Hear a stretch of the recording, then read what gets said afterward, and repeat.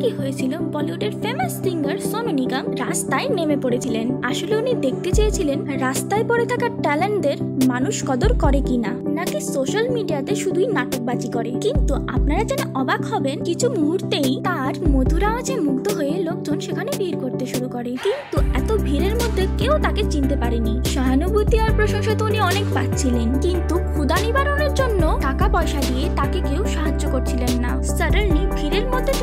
ব্যক্তি এলো এবং তাকে জল খাবার খাওয়ার জন্য বারো টাকা দিয়ে দিল। তারপর সোনু নিগম নিজের বাড়িতে ফিরে গেলেন পরে যখন তিনি তার নকল ভিখারি হওয়ার জার্নির কথা সোশ্যাল মিডিয়াতে রিভিল করলেন, তখন সেই ছেলেটিও জানতে পারল, যাকে সে ভিক্ষিতে বারো টাকা দিয়েছিল, সে আর কেউ নয়, বরঞ্চ বলিউডের ফেমাস সিঙ্গার সোনু নিগম ছিলেন। তখন থেকে ছেলেটি সোনু নিগমের সাথে দেখা করার ট্রাই করতে থাকেন।